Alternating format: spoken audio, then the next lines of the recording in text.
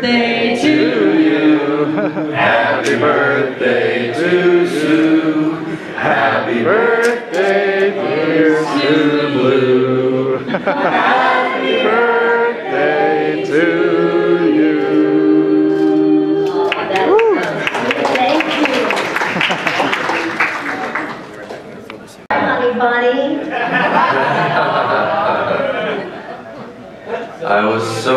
looking forward to seeing you this weekend, and as soon as your image comes up, I'll see you. Back all in Nashville. I didn't hear that. Broke her foot in I took a Nashville. bad fall in uh, Nashville. I was in Nashville to record an actress there and fell in the elevator and broke my foot in two places and I couldn't get out of Nashville. They had to do surgery there and everything. Oh my gosh. Yeah, nightmare. But I'm back home and the surgeon here said that they did a really good job in Nashville, so I'm really happy about that. All right, well, you heal perfectly and get back on the good foot. Yeah, I know I can't put weight on it for like eight weeks, and I've got like 12 pins in my leg, so it's not, it's not pleasant. We see you.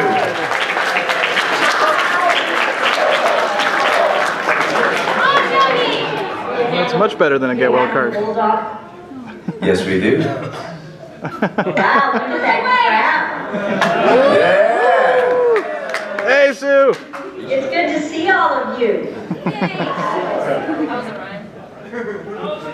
We're just getting rid of our bulldog. This one can stay though, the little chihuahua. Let me show you her. Our sweet little dog.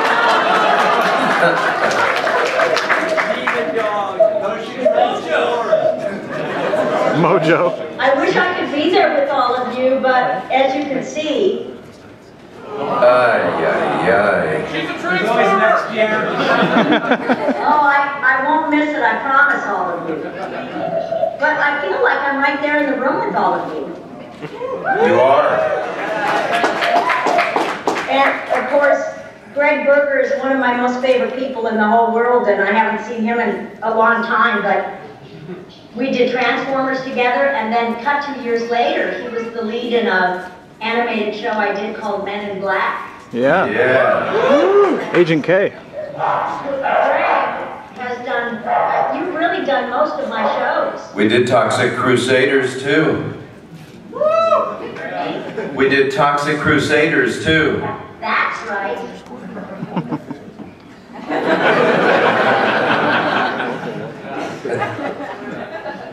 That's right, we did do Toxic Crusaders.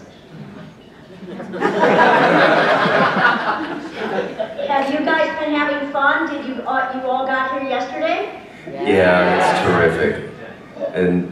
And is missing you and uh, only wishing you a really rapid and speedy recovery.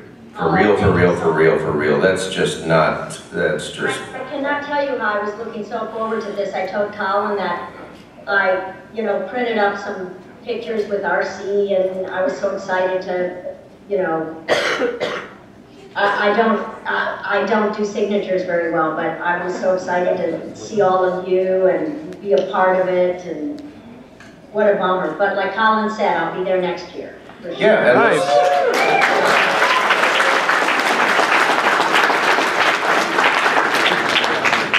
Look, this is, this is the crossover point where the virtual world becomes the real world. You're in the room, we're in the room, uh, let's just proceed. I mean, Yeah, uh, exactly. here, exactly. here we am. Does anyone have any questions? So if you're ready for questions, come on up. You know, I don't understand why, I would think that even in the live action, that the voices, you know, uh, for me, the voices in the live action are so, you know, they're just all so one note. I don't know why they didn't come back and use all of us. You damn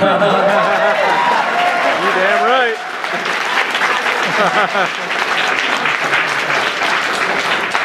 I guess, which is wonderful, they used Peter Cullen for Optimus. Do you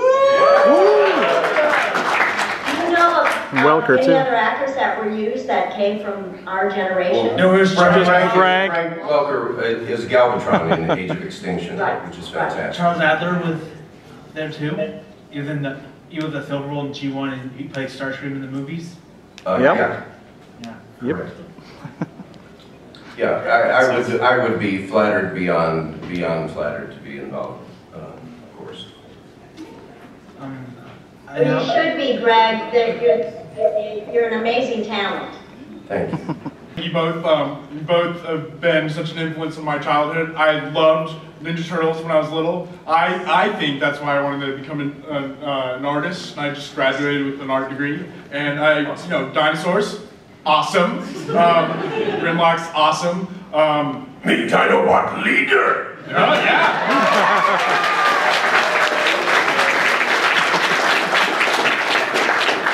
And um, while I uh, while I watched G1 before, um, I, I grew up with Beast Wars, and Beast Wars is my stuff. And I just spent like too much in the dealer room on some Beast Wars figures. um, but like I said, I'm gonna just one just one quick question for Gregg. He's probably got it before. Uh, I kind of like both characterizations of Grimlock in the cartoon. He kind of seems like he changed a little bit over time. He's kind of this goofball, like clumsy dinosaur after the movie, and then you know he's this big, big, strong, um, um, defiant um, uh, leader of the Dinobots earlier in the series. What is what's your favorite one to play? Well, you, that, it's, it's an actor question, and whatever you're given on the first day of, well, actually sometimes the first day is the record day, um, but whatever you're handed, it's your obligation to get from page one to, to the end of the script. So uh, I figure that our task is to bring the truth to whatever you're handed.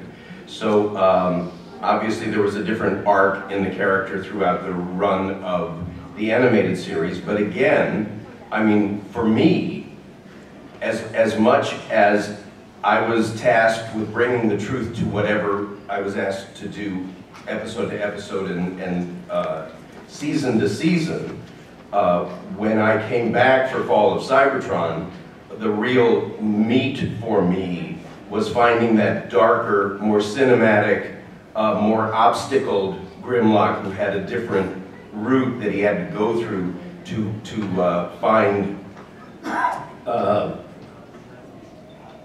Shockwave sort of, sort of created the route to his obstacles as far as thought processes. That was really interesting for me to have to repurpose myself to, to get there, but that was like way down the line.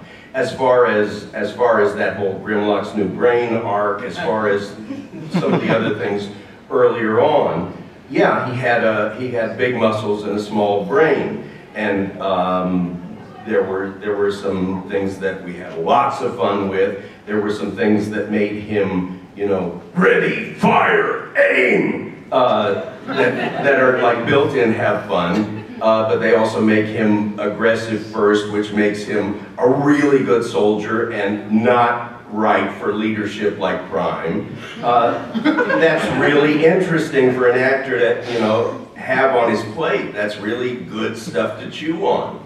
But it also makes it fun for an audience because he, he, he sees himself as ready to lead, but, but there's a better leader, you know? It's all great stuff. It's just fun to choose scenery. Um, but what an audience perceives as funny or not funny, or the different things that people like to talk about, that's not what you're dealing with when you're the actor that's handed the stuff. All you're tasked with is telling the truth through the eyes of the character. It's, it's the audience that decides what's funny or not. That's nothing that you play when you are the person who's taking on the part, if that makes sense. Question for Grimlock. They say you're the king. What exactly are you king of? Me Dinobot leader, me, me no bones, no me king!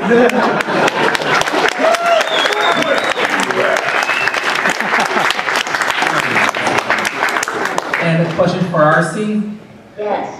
Friends with Daniel, right? yes. Does he have issues? They're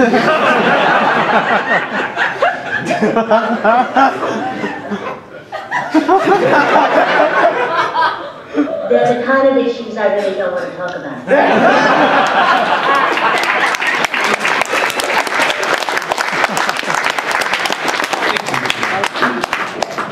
really quick Transformers uh, trivia. Uh, Megatron and Grimlock are Garfield and Odie. When we lost Lorenzo Music, uh, Frank took over as the voice of Garfield. So, uh, and I've been Odie since the first animated Odie. They, because they can't give you dialogue, and, and Garfield is a buddy comedy, just like Hope and Crosby or Abbott and Costello. It's just one of the two buddies has barks, slurps, growls, and, and uh, bone chomping. So uh, they write they write a full paragraph and just record what he's doing rather than what he's saying.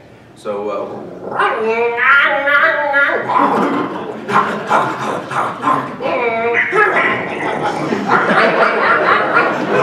Yeah!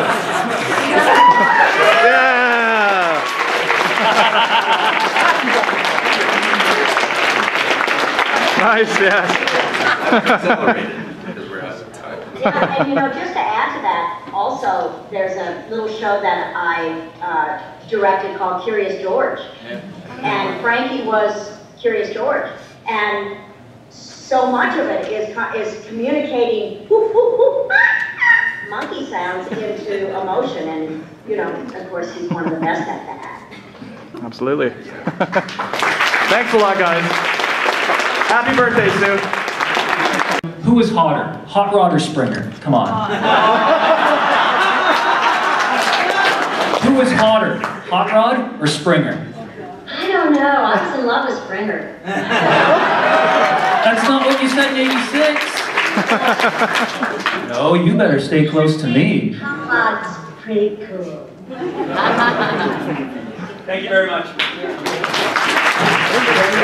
Right there, everybody.